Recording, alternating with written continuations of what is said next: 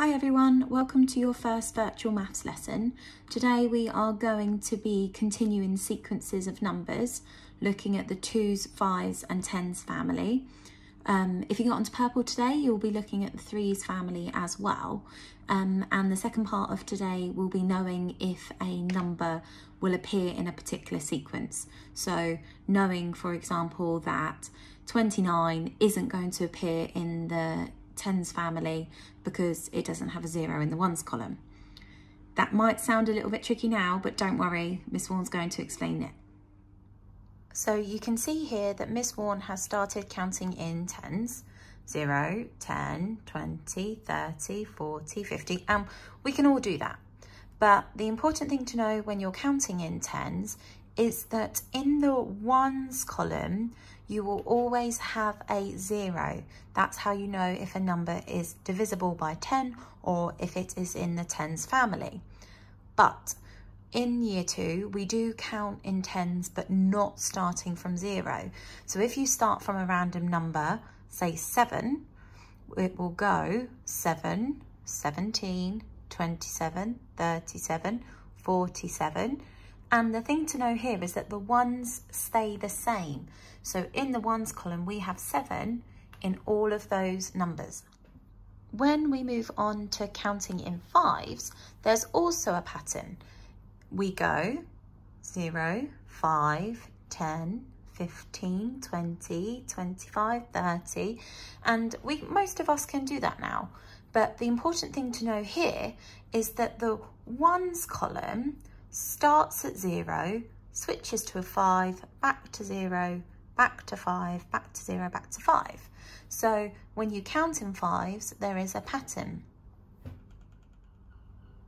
And here you can see Miss Warren has been counting in twos. So 0, 2, 4, 6, 8, 10, 12, 14, 16, 18, 20, 22, 24. And then you can see the next number here would be 26 because when we count in twos, the ones column follows a pattern. If you know 2, 4, 6, 8, 10, then you will know the rest of the numbers in the twos family. All of the numbers in the twos family are even, which means we can share them between two. And no matter how big the number may be, you just have to look at the ones column.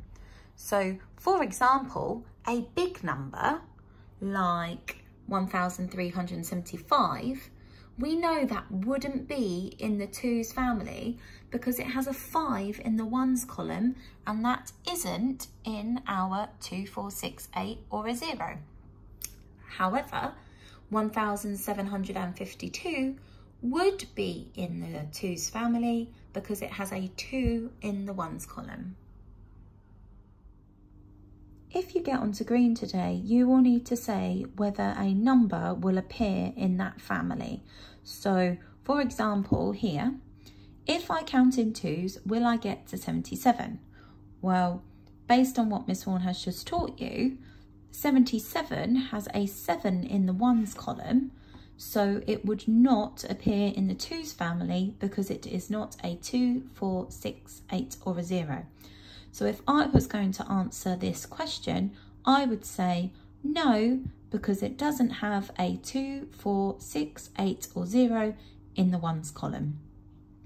Or I could say no because in the ones column there is a 7.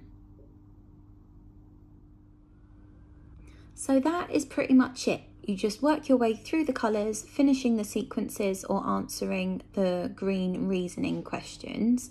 If you get onto purple, um, they are counting in threes and we don't have to be able to count in threes in year two, but if we can, that's great. That means we're working above what year two should be. So good job if you manage to do that. If you don't, don't worry. Top tip for parents here, we do need to be able to count in twos, fives and tens, forwards and backwards. Now, because we're only in autumn, we can use a number line or a hundred square to help us, but by the end of the year, we need to be able to count forwards and back without help from anything. So Good luck, everybody, and do email in if you have any questions at all.